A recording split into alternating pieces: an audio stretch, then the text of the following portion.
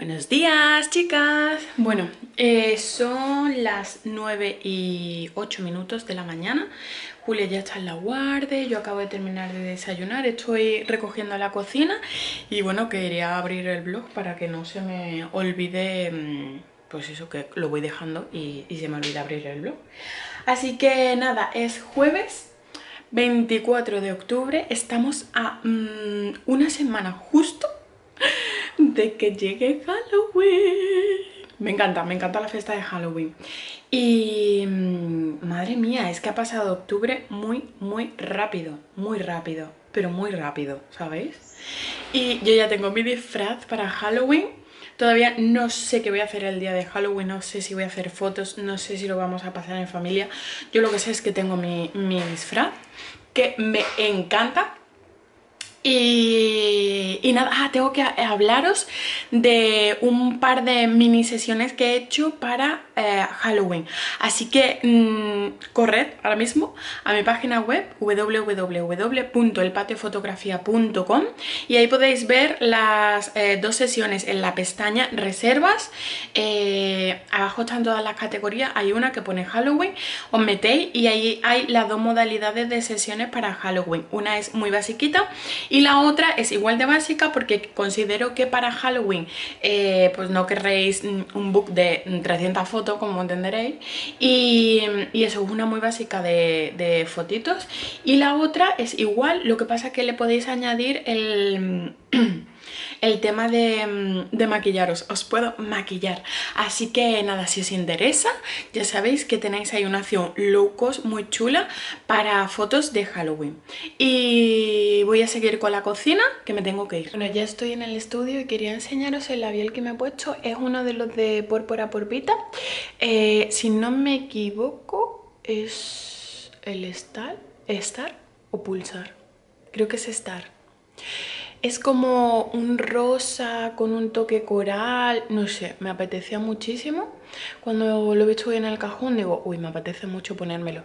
Y, llevo un par de días usando, porque tengo varios tonos, tengo, bueno, los tengo todos menos uno que había rosa muy flúor, que yo los rosa flúor no los suelo utilizar. Los tengo todos. Y, y la verdad es que me resultan súper agradables Em, me siento muy cómoda con ellos y no sé, estoy, me gustan mucho.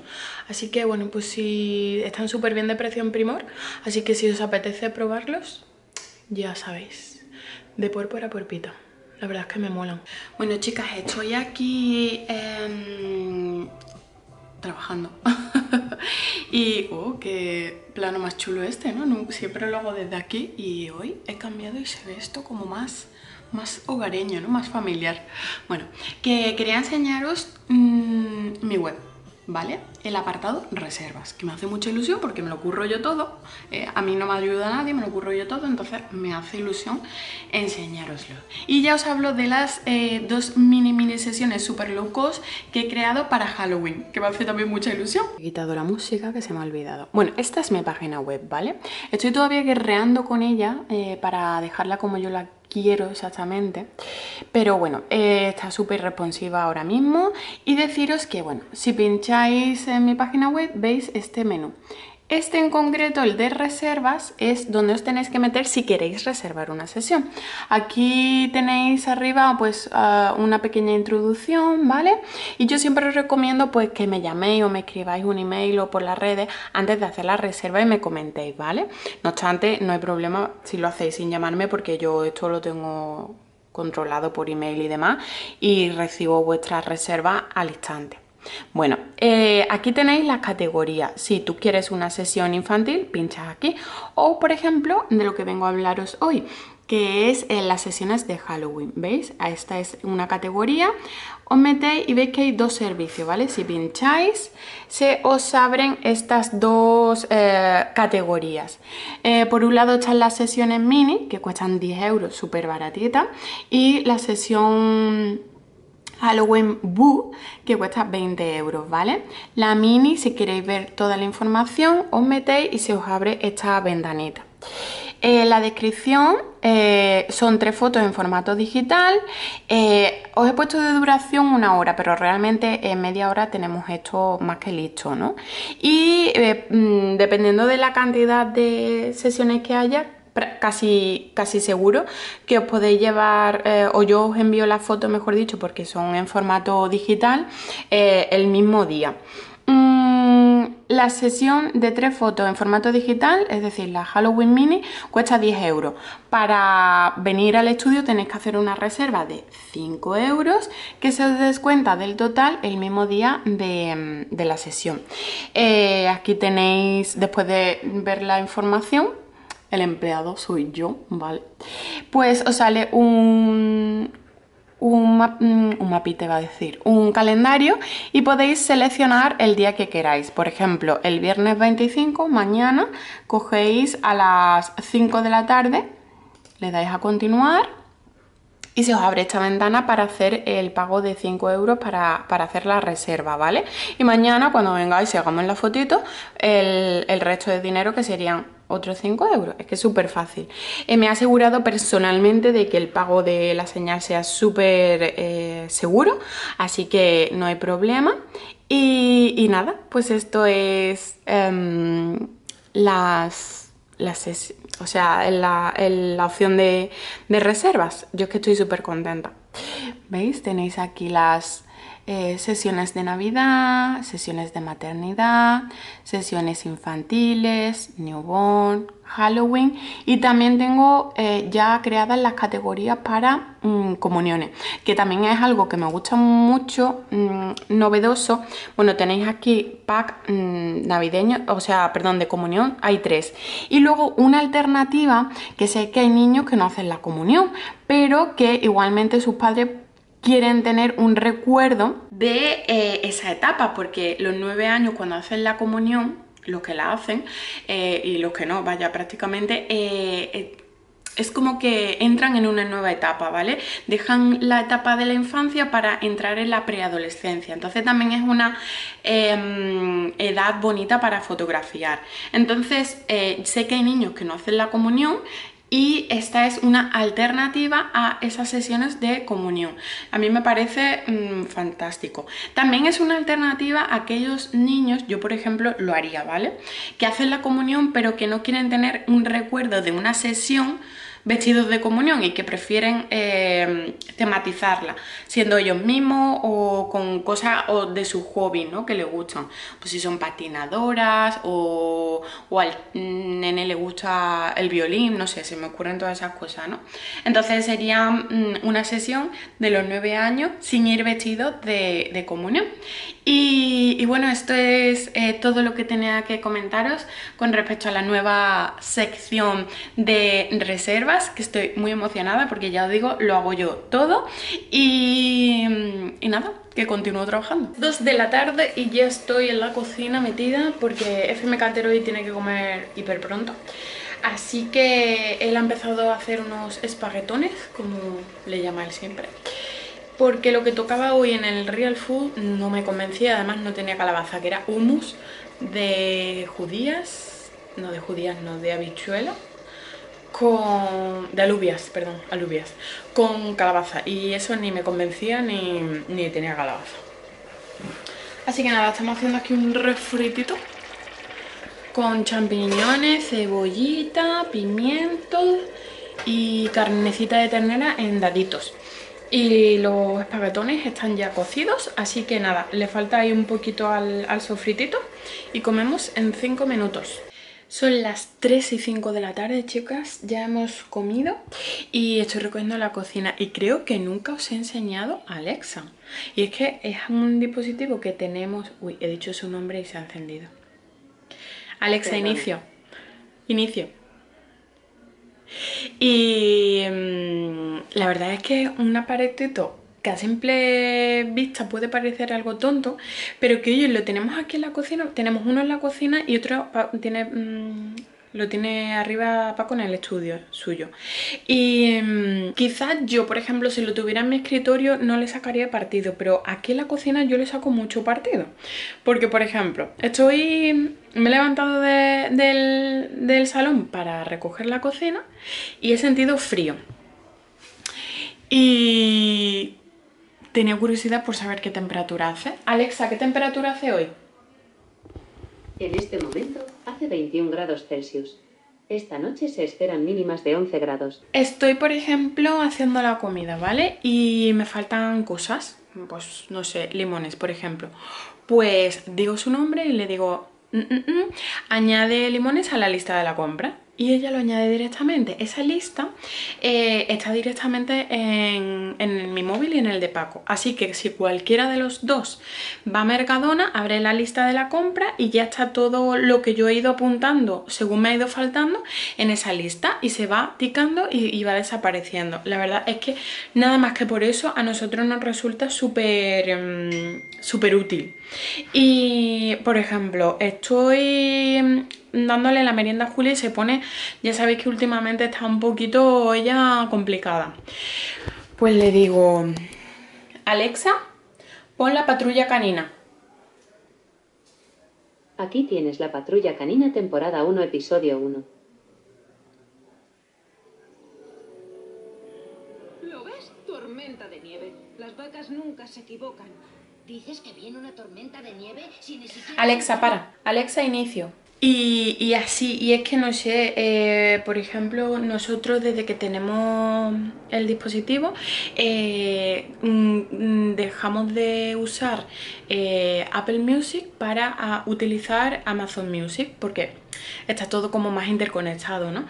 Entonces yo le digo, Alexa,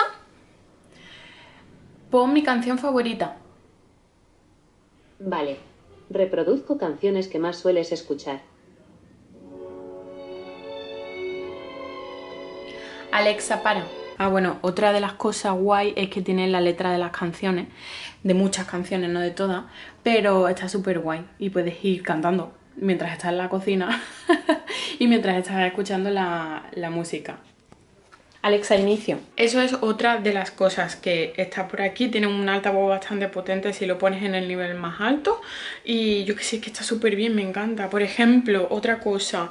Eh, a Julia le encanta eh, los sonidos de animales. Y, nos pasamos muchas veces, mucho rato aquí delante del dispositivo preguntándole a Alexa qué sonido hace el león o qué sonido hace la jirafa y así con todos los animales. Y a ella le encanta, además es que sale una fotito y el, y el sonido del animal, os lo voy a enseñar. Os voy a enseñar el sonido preferido de Julia, ¿vale? Alexa, ¿cómo hace el pollo? Aquí viene un sonido de pollo.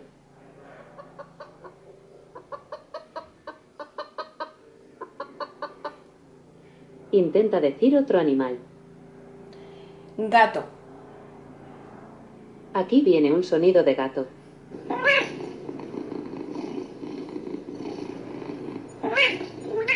Alexa, para. Otra cosa muy guay es que le puedo preguntar eh, dónde están mis pedidos y también me lo, me lo, me lo enseña.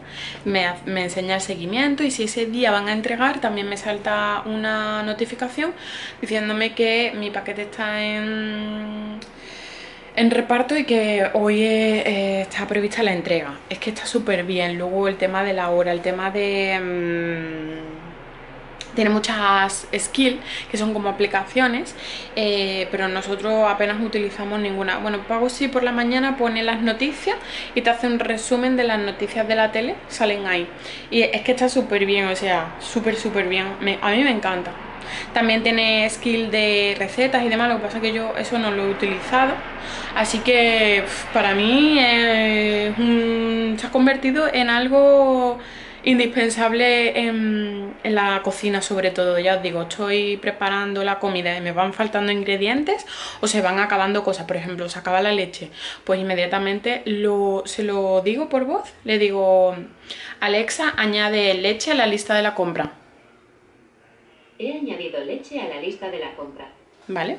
Y entonces yo en mi, en mi móvil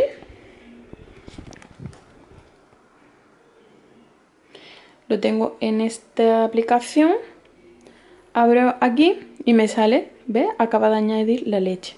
Me falta el pan, tomates, yogur y zanahoria que me tengo que llegar luego, por cierto. Alexa, recuérdame a las 6 de la tarde que tengo que ir a Mercadona. Vale, te lo recordaré a las 6. Alexa, gracias. No hay cosa que me guste más que echarte un cable. Lo siento. Se ha producido un error. Vaya. Bueno, pues se ha producido un error, pero no sé exactamente qué error. Alexa, inicio. No sé qué error habrá sido. Bueno, y eso que, que creo que nunca os la, os la he enseñado y nunca os he hablado de ella, pero es algo que nos encanta en casa. Y ya os digo, eh, hubo un momento que sí es, es verdad que no funciona mucho, que eh, compramos enchufes inteligentes para controlar, controlar las luces y algunos aparatos electrónicos desde Alexa. Por ejemplo, teníamos en las lámparas del salón eh, los enchufes inteligentes. Entonces le decíamos, "Mm, amiga, enciéndeme la luz del salón. Y encendía la luz y apagaba la luz cuando se lo decíamos. Pero falla muchísimo, ¿vale? Falla muchísimo. Se apagaban porque sí, eh, o había veces que no se encendía. Es verdad que ese tema tienen que afinarlo un poquito porque todavía no va del todo bien.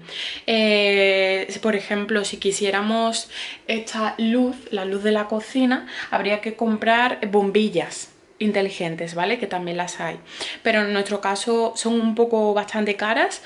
Todos estos aparatos de hogar inteligentes son bastante caros y decidimos optar por los enchufes porque era como la opción más eh, económica.